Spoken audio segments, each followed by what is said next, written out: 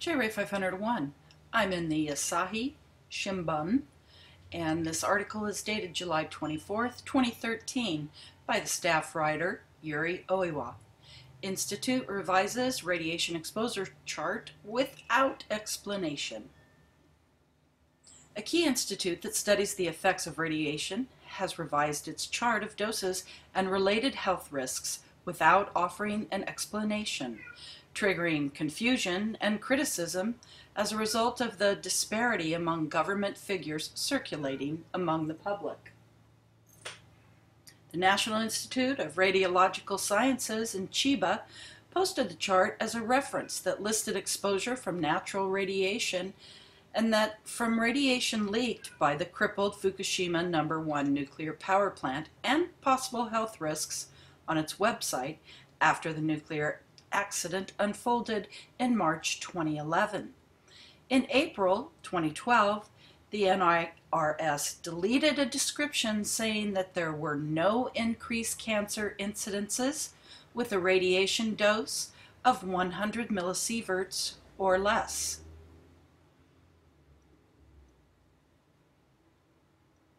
Instead, the new chart said it has been found that the risk of dying from cancer gradually rises in accordance with an increase in radiation doses exceeding 100 millisieverts. An NIRS official said that the revision was meant to avoid misleading the public. We changed the expression because some people misunderstood that it has been scientifically established that incidences of cancer will not increase if the radiation dose is 100 millisieverts or less, the official told the Asahi Shimbun. Bun. When the NIRS revised the chart, however, it gave no explanation for the change and the history of the revision. The revised, revised chart came to the attention of the public in recent weeks, raising suspicions about the Institute's motives.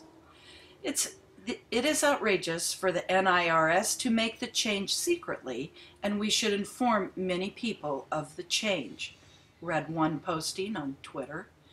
Another tweet declared the NIRS has apparently sought to destroy evidence to evade its responsibility when people develop cancer, even with a radiation dose of 100 millisieverts or less.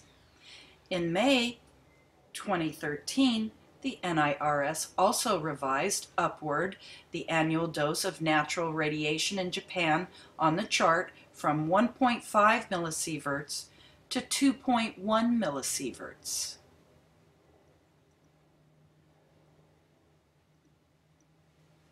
And from space, it's 0.30 millisieverts. From the ground, 0.33 millisieverts.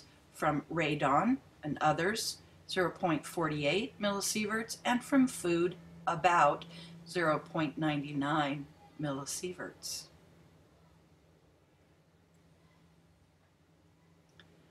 The revised chart came to the attention of the public in recent weeks raising suspicions about the Institute's motives.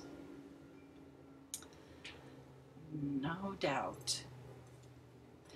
The NIRS official said the new figure is based on an updated report released in December 2011 by the Nuclear Safety Research Association. The association, whose directors include senior officials with electric power companies said it quoted figures in the new report which are from literature available both in Japan and abroad after verifying the data. The report, however, does not take into account the impact of the nuclear disaster. Despite the NIRS's revision, the Education Ministry still uses the previous chart in supplementary reading material for elementary, junior, and senior high school students. Other government ministries and agencies also use the previous chart on their websites. In addition, the supplementary material for students includes another figure, 2.2 millisieverts as the annual dose of natural radiation, a figure drawn from a separate research institute.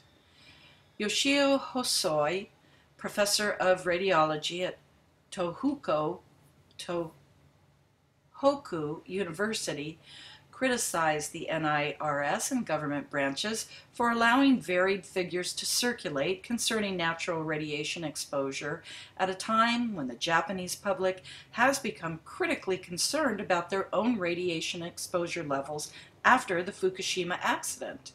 A publicly supported organization should conduct a study to determine the average dose of natural radiation exposure for the Japanese population and present it in a manner that's easy to understand, he said.